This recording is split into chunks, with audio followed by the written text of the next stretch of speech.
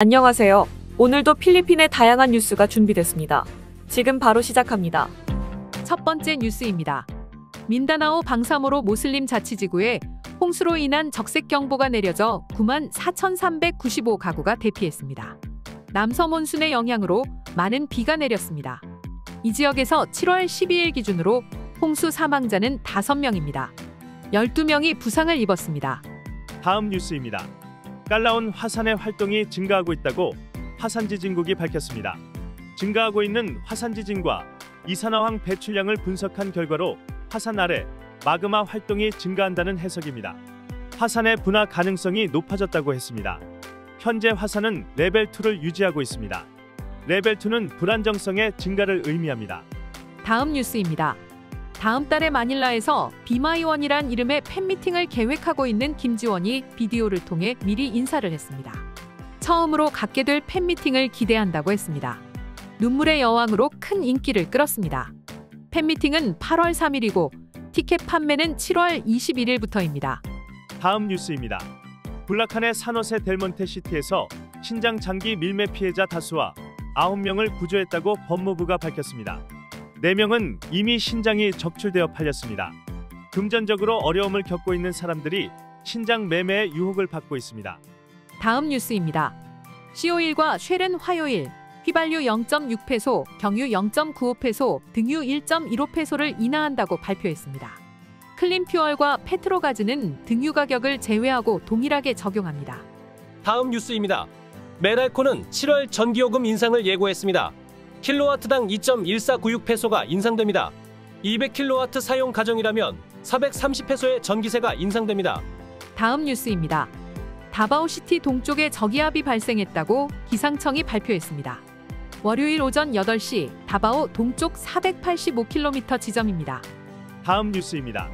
사라도 테르테 부통령은 소냐에 참석하지 않는 이유를 밝히지 않는다고 했습니다. 미국에서는 대통령 사고 시 대행할 사람은 대통령과 같은 자리에 있지 않도록 지명된 사람이 있는데 부통령이 스스로 자신을 지명했다고 했습니다. 사라는 7월 19일부로 교육부 장관에서도 물러나게 됩니다. 다음 뉴스입니다. 경찰청은 7월 22일 있을 이번 소냐와 관련하여 어떤 위협에 대한 첩보도 없다고 했습니다. 부통령이 자신을 대통령 사고 시 대행할 사람이라고 주장하는 것에 대해서도 부통령을 존중하기에 이에 대해 경찰은 아무런 언급도 하지 않겠다는 입장입니다.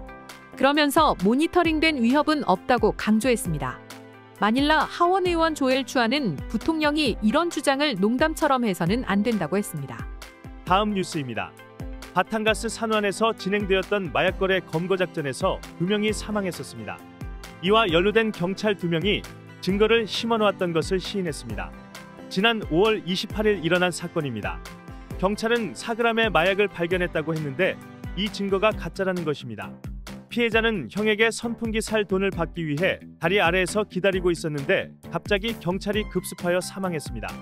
피해자와 총격전이 있었다고 했는데 이것도 거짓으로 드러났습니다. 다음 뉴스입니다. 관광부가 터미널4에 게시한 rice terrace에 대한 정보가 잘못되어 논란입니다. 포스터에는 벵겟에 있는 rice terrace로 표기되어 있지만 실제는 이프가오 province입니다. 사람들은 이게 이사 가서 내가 못 찾았구나 벵겟에다 지점을 냈네라고 답글을 달기도 했습니다. 알바이의 마욘 화산도 나가에 있는 것으로 잘못 표기되었습니다. 다음 뉴스입니다. 현대화 사업에 등록하지 않은 지프니나 UV Express라도 사업 신청한 지프니가 현저히 적은 2,500개 노선에서의 운행을 가능하도록 하겠다고 LTFRB가 밝혔습니다. 메트로 마닐라 139노선, 코르디렐라 669개 노선, 깔라바르존 216개 노선, 다바오 34개 노선 등입니다. 다음 뉴스입니다. 불법 감금 및 인신매매로 미얀마에서 구출되었던 필리핀 사람이 사실은 중국인인 것으로 밝혀졌다고 이민국이 밝혔습니다. 그는 나이아 공항에서 자신을 필리핀 사람이라고 했습니다. 그는 2023년 7월 중국 여권으로 필리핀에서 태국으로 출국했습니다. 그는 6세 때 필리핀에 와서 한 번도 중국을 가본 적이 없고 중국으로 보내질 것이 두려워 거짓말을 했다고 합니다. 다음 뉴스입니다. 패존시티 사립학교를 졸업한 사람이 구호 후아핑이라는 여성의 초등학교 때 사진을 찾아냈는데 이는 NBI가 반반 시장 앨리스 구호와 동일한 중국인으로 지적한 사람입니다. 이 사진은 2000년에서 2003년의 사진인데 이는 상원 의원 셔인 가칠리안의 주장과도 일치합니다.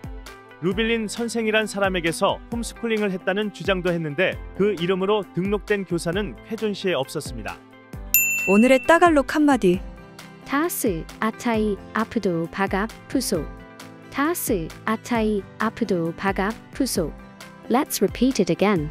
타스 아타이 아프도 바갑 푸소 타스 아타이 아프도 바갑 푸소 그날에는 너희가 아무것도 내게 묻지 아니하리라. 내가 진실로 진실로 너희에게 이르노니 너희가 무엇이든지 아버지께 구하는 것을 내 이름으로 주시리라.